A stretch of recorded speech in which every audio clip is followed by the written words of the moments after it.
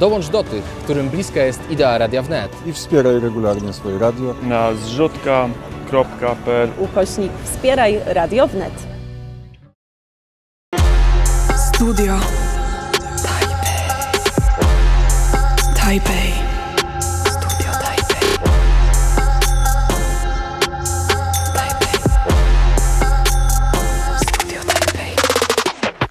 Ryszard Zarski jest rzeczywiście w studio Tajpej, a dzisiaj e, ważne e, spotkanie szczytu Unia Europejska-Chiny, a przedtem e, w Pekinie e, rozmowy dotyczące Ukrainy i dotyczące związku chińsko-rosyjskiego. Czy dzień dobry panu i czy obserwuje pan e, te dwa zdarzenia? Dzień dobry, tak, pozdrawiam serdecznie z Tajpej. Będziemy dzisiaj mieli 23 szczyt chińsko-unijny i będzie w nim brało udział trzech przedstawicieli Unii i dwójka z Chin. O 10 będzie sesja robocza z premierem Li Keqiangiem, a o 14 przewodniczącym Xi Jinpingiem. I kilka słów historii. Z ostatnich dwóch lat stosunki unijno-chińskie pogorszyły się znacznie pod koniec 2020 roku, kiedy władze Unii Europejskiej wycofały się z ważnego dla obu stron Comprehensive Agreement on Investment CAI.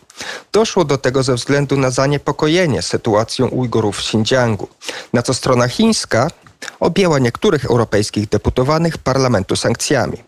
I kolejnym dnem w tych stosunkach były kłopoty Litwy i Chin ze względu na przedstawicielstwo tajwańskie. O tym już mówiliśmy i o tym wiele pisano w mediach. Natomiast odnośnie dzisiaj, ta sytuacja która jest obecnie związana z Rosją i z Ukrainą, to jakby kolejne pukanie spod kolejnego dnia, bo jak dotychczas nie ma zdecydowanego stanowiska ze strony Chin.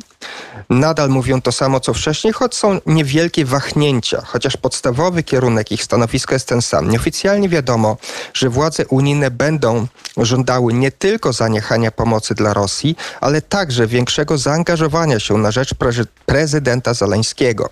Reakcja Chin raczej nie będzie wynikiem presji Zachodu, jak dotychczas nie była, może natomiast ewentualnie się zmienić ze względu na pogorszenie ewentualne rozwoju własnej gospodarki.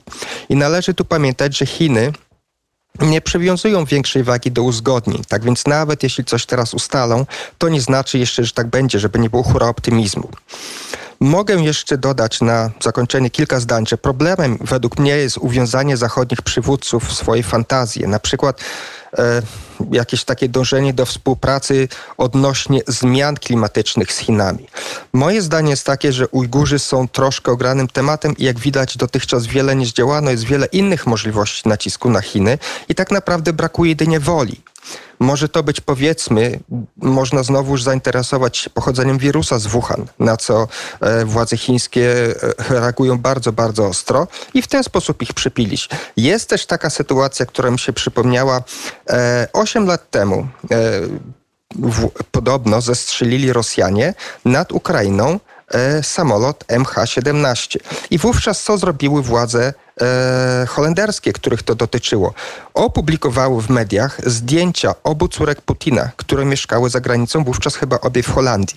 I tak samo można by zrobić wobec Xi Jinpinga, którego córka studiuje w Stanach i wiadomo, że ojciec jest bardzo, bardzo przewrażliwiony na jej punkcie i jej prywatności.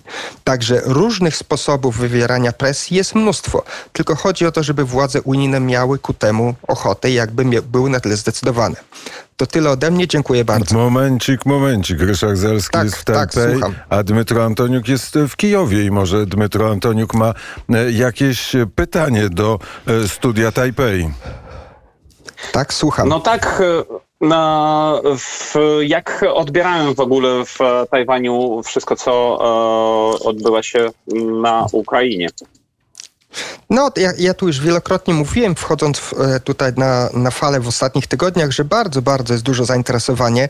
Między innymi dlatego właśnie, bo e, Ukraińcy są tak dobrze przyjmowani w Polsce i tutaj nawet i, i w mediach to jest widoczne. Miałem osobiste takie e, różne miłe doświadczenia, kiedy e, zagadywano mnie na ten temat i bardzo wychwalano Polaków. E, tajwańscy dziennikarze są w Polsce, także e, no jest to tu temat bardzo żywo omawiany. E, zresztą moja żona też cały czas mi coś wynajduje w mediach. I można dodać, że y, na pewno władze i wojsko tutejsze bardzo to obserwuje, bo chce dla siebie wyciągnąć wnioski i zmodernizować armię, e, szkolenie e, cywili, e, a także jakieś rezerwy, e, żeby mogła, powiedzmy, żeby społeczeństwo mogło bronić kraju, tak jak robią to obecnie Ukraińcy. Także są to zagadnienia bardzo obserwowane na bieżąco. A Bardzo dziękuję i życzę powodzenia tam. e, to, to Tak, także zdecydowanie jest to tutaj e, jak laser. Społeczeństwo rzeczywiście się na tym. Na początku tak nie było. O, po, po jakichś dwóch, trzech tygodniach e- ewidentnie jest ogromne zainteresowanie. i to jest jedna z głównych wiadomości w mediach tajwańskich? Nie, nie jest to główna, ale na pewno w tej chwili bardziej czołowa niż kiedyś. W tej chwili na przykład jak oglądam telewizję, to codziennie jest jakiś blok taki nie o 10 do 20 minut, gdzie jest omawiane stanowisko Rosji, Stanów Zjednoczonych i dokładnie są to, co się dzieje w Ukrainie. I są no naprawdę strasznie takie przykre niemiłe stamtąd różne obrazki. Myślę, że to dociera do Tajwańczyków, że jakby oni są, mogą być następni w kolejce. I to rzeczywiście oddziałuje tutaj na publiczność i y, na społeczeństwo i dlatego też jest no, coraz większe poparcie, żeby wydłużyć służbę wojskową, żeby bardziej jednak zainteresowali się tym obywatele już teraz, żeby w razie konfliktu można było stanąć na wysokości zadania.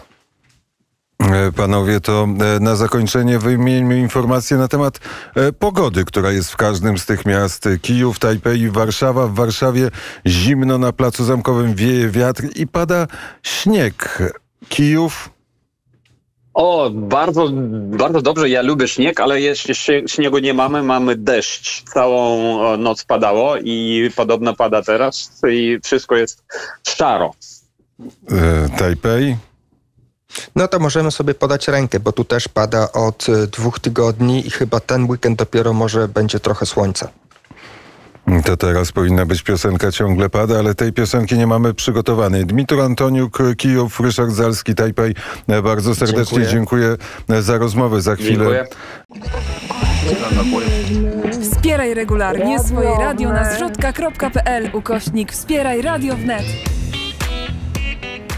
Już od 12 lat robimy radio, a tworzycie je przede wszystkim Wy, słuchacze i przyjaciele Radia Wnet. Bardzo dziękujemy za Państwa dotychczasowe wsparcie. To tylko dzięki niemu udało nam się stworzyć tak silną społeczność i tylko dzięki niemu wciąż możemy się rozwijać. Wasza regularna pomoc na zrzutka.pl pomoże nam pokryć stałe koszty związane z utrzymaniem nowo powstałych nadajników, a także studiów w Polsce i za granicą. Pomoże nam także polepszyć nasze programy. Obecnie Radio Wnet nadaje w 8 miastach wojewódzkich, ale do tego ma 11 studiów zagranicznych, a ramówkę radia wypełnia około 50 programów autorskich. I będziemy dalej rozwijać Radio Wnet, bo chęci i ambicji już nie można zatrzymać.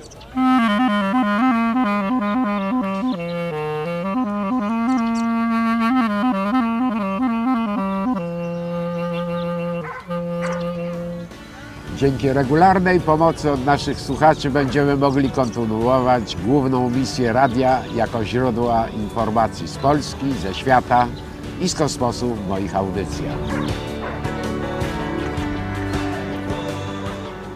Państwa wsparcie wzmocni w nas radość i chęć tworzenia radia i do tego przyjemność opowiadania Państwu o tym, co dzieje się w Polsce i na świecie.